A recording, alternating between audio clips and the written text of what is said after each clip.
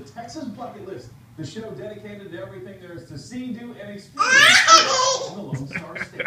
My name is. Is that your daddy? And this week, we're Brazos Valley. We start things off in